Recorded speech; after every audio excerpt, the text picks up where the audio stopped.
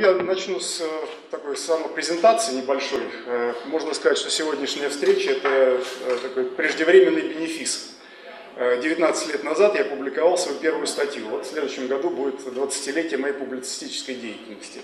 Статья называлась «Национальные интересы русских» и была опубликована в газете «Дума», которую выпускал Московский городской совет народных депутатов, которому я имел честь принадлежать в качестве народного депутата. И здесь вот есть мои коллеги по борьбе тех времен, о которых уже все, о которых уже и о которых, и о которых уже позабылось. Сейчас мало вообще кто помнит про те битвы, которые происходили на московском уровне, в особенности вокруг Московского совета, потому что самый такой сочный кусок собственности раздирали именно здесь и раньше, чем где-либо еще. То есть 90-е уже там началось, 91 год, 92-й. А страну потом под нож пускали несколько позже. Вот. Московский совет был на переднем крае борьбы, и поэтому а, он закончил свое существование специальным указом Ельцина, э, чего не было по отношению к другим областным и краевым советам. Да, специальный, то есть единственный указ э, был по поводу распуска э, съезда народных депутатов Верховного Совета и Московского совета. Вот.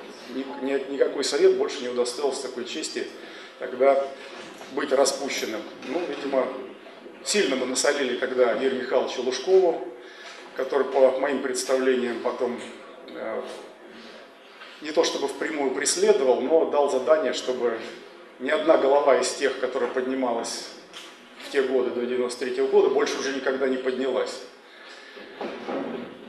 А второй элемент э, бенефиса – это э, необычайная урожайность э, изданий за моим авторством, которые вышли в этом году. Вышло семь книг, вот включая эту книгу, которую я только что получил в руки, опыта русского сопротивления, вышло семь книг. Причем это не брошюрки, а вот книги такой толщины по 400-500 страниц. И единственная книга небольшого формата, выпущенная издательством «Книжный мир», э, называлась, называется «Настоящая Спарта».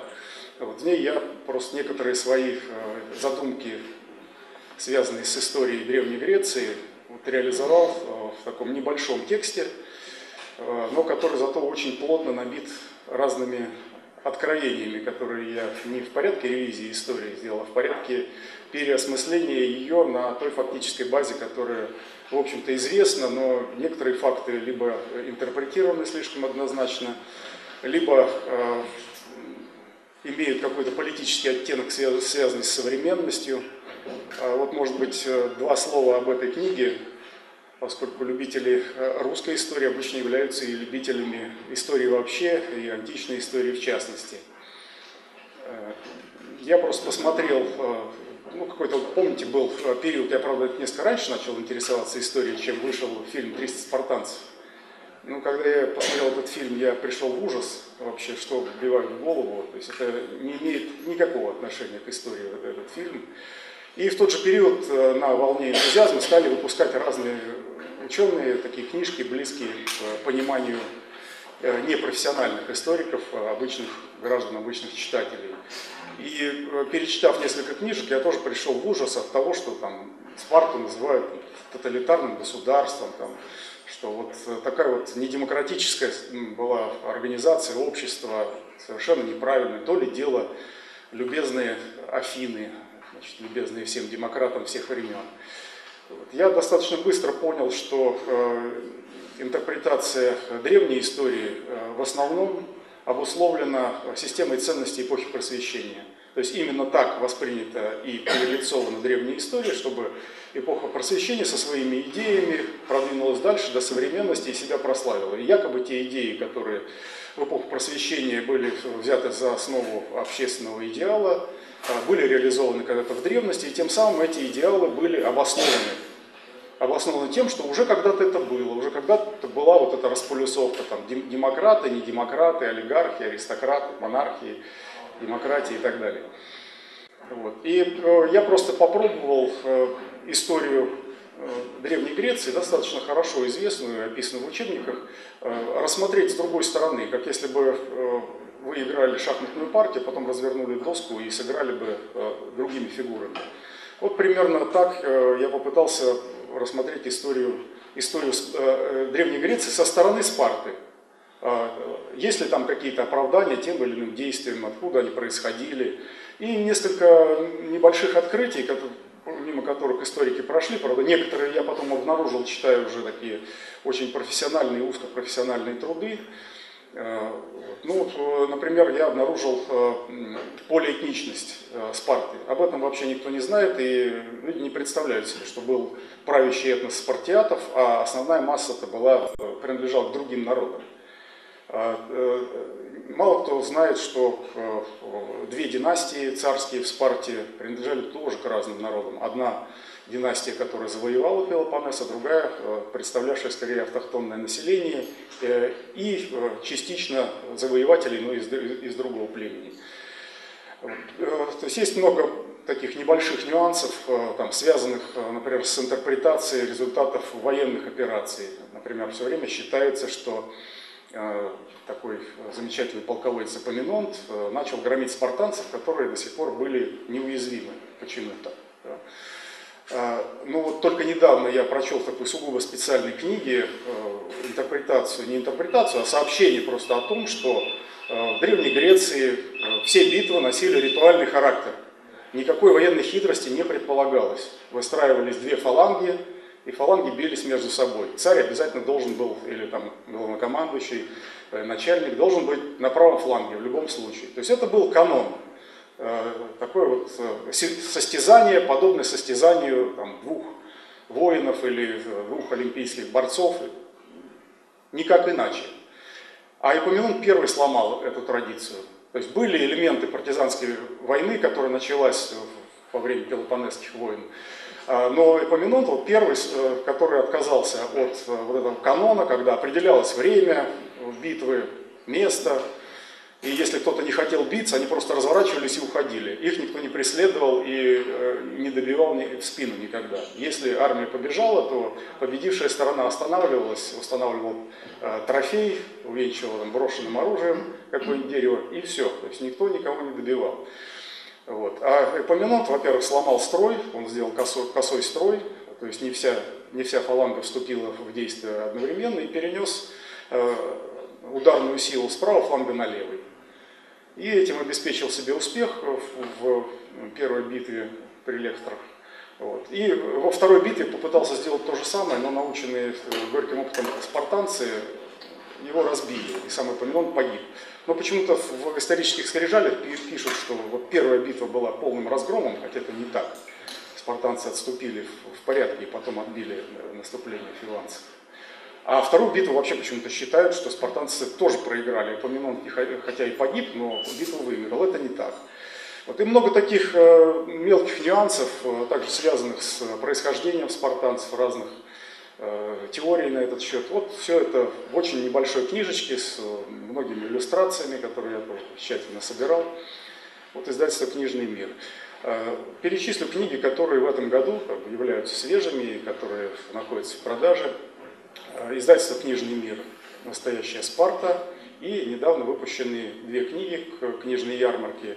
Это «Родина против бесов» об истории э, Блока и партии «Родина» э, и «Как убивали СССР, кто стал миллиардером». Это скорее начало 90-х годов, и там обсуждаются темы, знакомые мне как раз по работе в Московском совете, темы, связанные там, с приватизацией в Москве, но также и другие. Там описываются художества Чубайса, Березовского в Москве, Лужкова, разумеется, Ельцин со всей его фанаберией. Э, для чего все это нужно? Э, вот та и другая книга о родине и о э, начале 90-х годов. Все это необходимо, чтобы о нашем времени складывалась летопись. Некоторые аспекты нашей жизни вообще не оказываются вне какого-либо внимания историков. То есть текущая история – это публицистика. Публицистика всегда заряжена э, текущим моментом. А вот посмотреть на э, ситуацию несколько более объемно, э, с некой документальной основой, это очень сложно и очень редко встречается. Недавно, скажем, прочел книгу Полторанина «Политика в тротиловом эквиваленте». Вроде бы, казалось, человек был вице-премьером, написал толстенную книгу, которую так и даже поднять довольно тяжело. Но оказывается, что вице-премьер абсолютно несистемно э, наблюдал за своим собственным временем. То есть круг его интересов, круг его э, обзора, которым он наблюдал историю, ну, настолько узок, что просто диву даешься. Человек рядом с Ельциным ходил в течение нескольких лет, а не осталось ничего. То есть ну, остались какие-то мелкие эпизоды, не говорящие ни о чем. Вот мне очень жаль, что в книге есть там интересные эпизоды, которые Э, мне скорее как э, такому же наблюдателю э, любопытны, но в целом мне кажется, что люди, находящиеся на столь высоких постах, все-таки должны видеть ситуацию более глубоко. То же касается, моя первая книга была выпущена в 95 году, и как раз касалась того, о чем все забыли, о чем я начал свое выступление, о Московском Совете народных депутатов. Вообще не осталось никаких следов. То есть ни одной книги о Московском Совете никто не выпустил. Хотя это было три с половиной года э, борьбы, которая для некоторых людей кончалась э, вместе с жизнью. Вот. И э, там, конечно, там рассмотрен 91-93 год, и отчасти эту информацию я повторил и в книге «Как убивали СССР», потому что убийство страны это было, был не какой-то разовый акт, там собрались договорились, что-то там подписали, это было систематическое уничтожение, причем основанное на определенном идеологическом подходе. Страну надо истребить, потому что она вот, плоха. Ее не должно быть. Это было абсолютное убеждение, вот, кстати, в книге Полторанина это можно проследить, абсолютное убеждение Ельцина и всей его группировки, которая была вокруг, что страну надо истребить. Такой страны не должно быть в природе.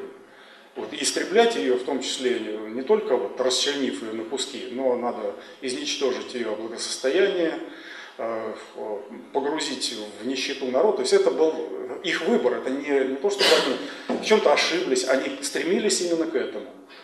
И, вот э, некоторые мемуарные произведения подтверждают эту догадку. А, вторая группа книг, тоже три книги, выпустила издательство «Традиция», в том числе и вот эту книжку «Опыты русского сопротивления». А, в начале года была издана книга «Русофобия в России 2010 год», увесистая получилась э, книжка, там дается обзор социально-экономического положения русского народа, правового положения русских людей. И э, за 2010 год все истории репрессий против нашего народа и отдельных его представителей, прежде всего против тех, кто проявляет политическую активность. Вот этому посвящена первая книга в издательстве «Традиция». Вторая книга – это а, такой двухтомник получился а, под общим названием э, «Осколки эпохи Путина». Там я подвел итог своей э, персональной деятельности в Думе, за которую отвечаю лично я. То есть я там не писал ничего о родине, там, может быть, только вскользь.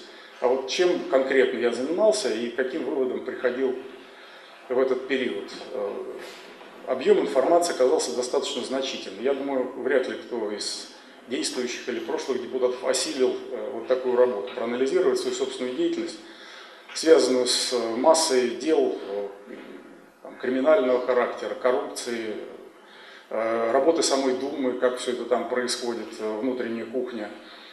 Э, и вот эти все дела у меня хорошо была поставлена работа моих помощников, и вспомню их имена, это ныне покойный Сергей Петрович Пыхтин, который, к сожалению, скончался в этом году. Он вел юридическую сторону и те законопроекты, которые вносились от меня лично или от какой-то Э, группы, но исходили, инициатива исходила от меня, все проходили через него, в том числе и два фундаментальных закона, которые так и не дошли до Думской трибуны.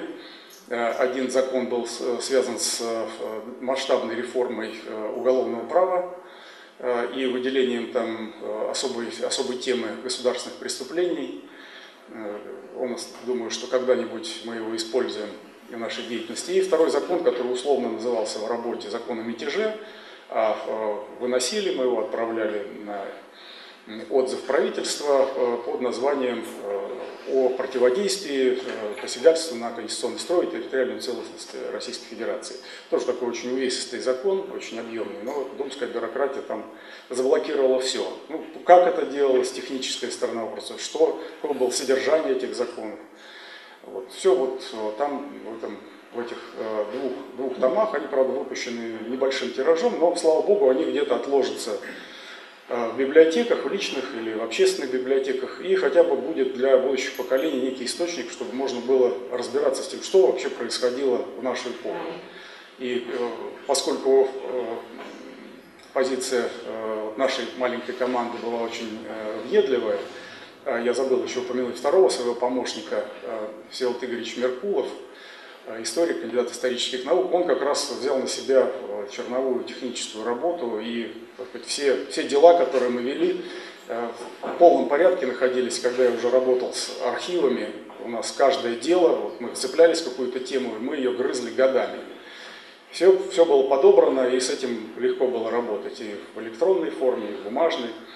Вот, и я надеюсь, что мы продолжим сотрудничество с теми, с кем сотрудничали в те, в, те, в ту эпоху.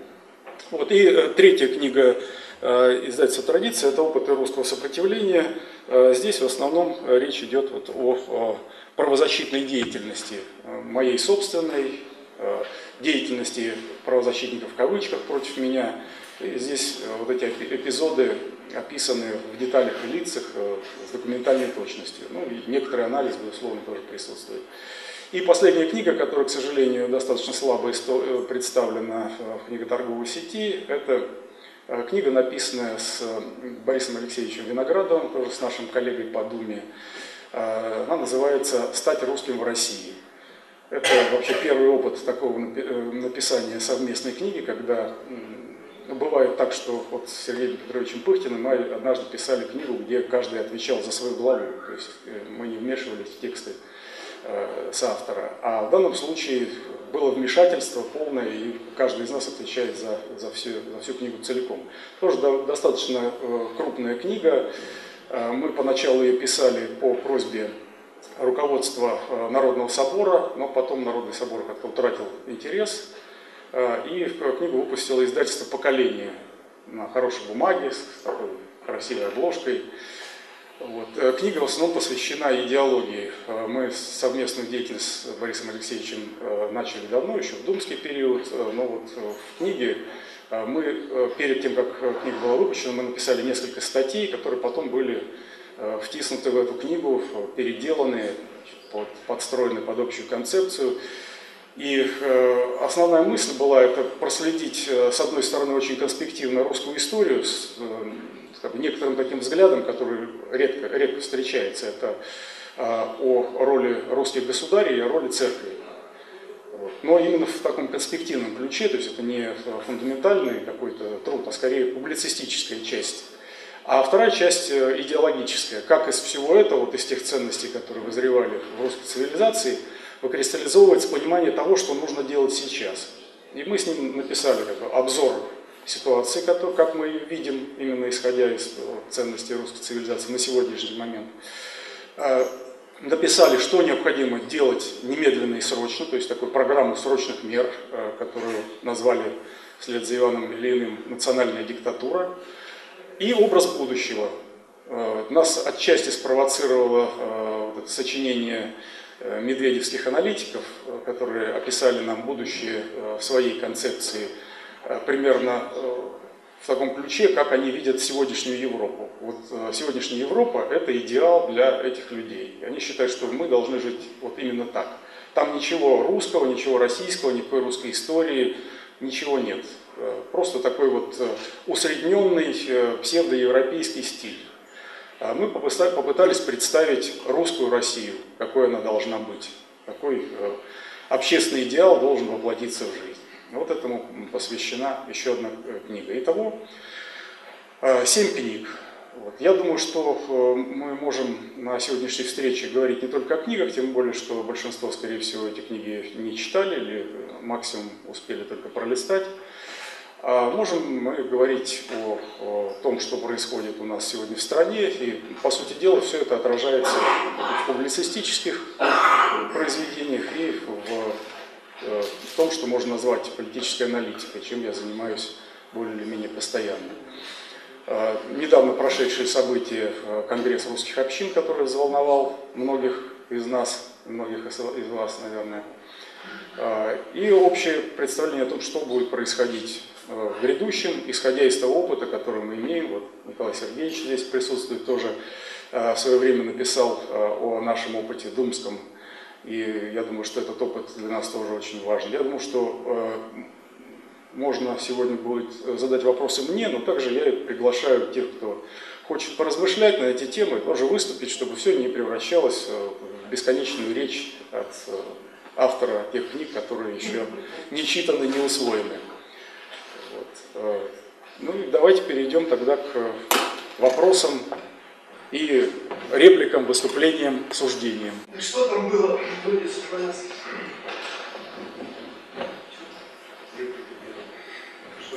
Значит, в Радисон Славянской э, собрался, э, собралась фактически команда, которая ушла с политической сцены в 2006 году те региональные отделения, э, которые либо погибли э, в 2006 году, уже сразу не собираясь вступать в справедливую Россию, или же просуществовали некоторое время, там, год, может быть, полтора максимум, в рамках справедливой России убедились, что это не то, что, о чем все мечтали, и что перспектив здесь нет никаких. Эта команда была собрана и э, в значительной мере эти люди прошли путь 90-х годов вместе с Рогозиным, э, путь Конгресса русских общин. Примерно э, он проходил в рамках с 93 -го года, с первого съезда, который проходил в колонном зале дворянского собрания, и до 2001 года, когда руководство было передано Сергею Юрьевичу Глазьеву, но с тех пор деятельность КРО прекратилась фактически, хотя передача была достаточно хорошо обставлена.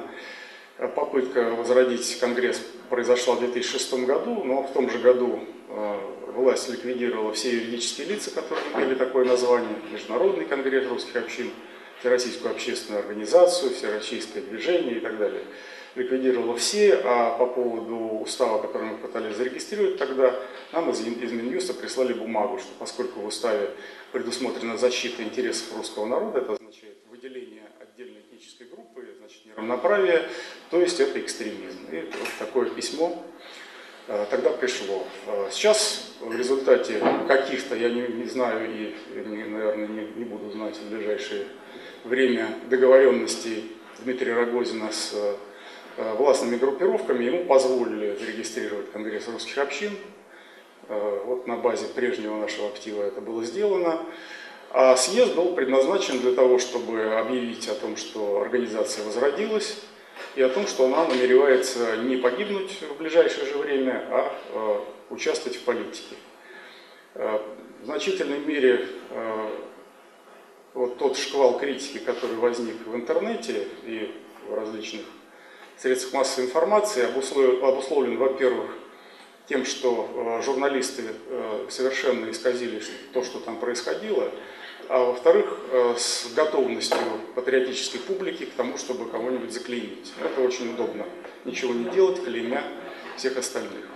Реально на съезде приняты такие решения. Первое решение – участвовать в выборах. Как участвовать при голосовании, открытое голосование не обговаривалось. Ну, я был единственный против этого. Еще два члена э, московского э, руководства КРО воздержались. А дальше было тайное голосование, при котором каждый мог э, дать волю своим представлениям о жизни. Э, голосование по трем пунктам. Первый пункт – это не принимать участие в выборах.